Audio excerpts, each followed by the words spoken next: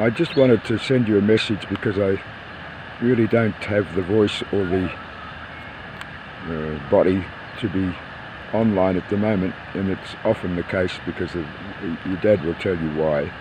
Because um, some sickness that persists in my body. But anyway I wanted to come down to a little creek or lake or something. I'm not sure what we call this part so I live near these this creek that goes down all the way to a lake near my house so it's, it's, it's quite a nice area. So I came down here to say hello mainly, but also to say please don't worry too much about your um, your interview.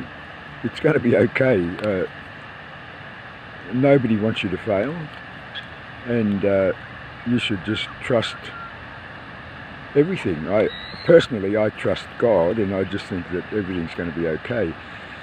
But this morning, when I woke up, I remembered a story um, about a Chinese emperor that I thought I might tell you.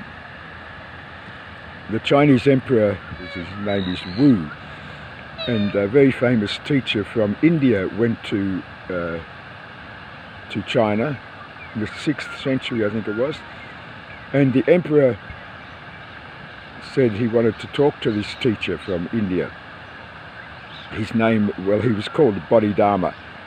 He was a Buddhist teacher, really. So Bodhidharma went to see Emperor Wu, and Emperor Wu said, look, I've been a really good guy. I have built many temples. I care for nuns and, and monks. I help to feed them and I build their monasteries. And I've also translated many books from Pali or Indian languages into Chinese. So I'm a real good guy, so what reward will I get? And the, the teacher just said, you get nothing. A lot of people do good things to get rewards. Don't, don't think about rewards, just do good things. That's what it is to be human. So when you get something don't think of it as a reward. It's a gift. Everything that you have is given to you. And I say everything you have is given to you by God. It's not that you deserve it. You might work hard, but work is a gift. You might study hard, but studying is a gift. Think of how many people can't study. So anything that you have is, is a gift. All I'm trying to say to you today is that just the fact that you're taking a breath now, you're breathing, you're with your mum and dad, you've got food. You've got so much more than most people in the world. And uh, yet we tend to worry about the future. Please don't worry about the future. I'm 70 now, so I'm getting pretty old. And maybe not so many years left, or months, I don't know. But it's all a gift. Everything is a gift.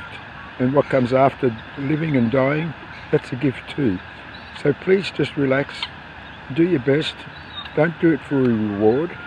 Do it because doing the best is the best. See you.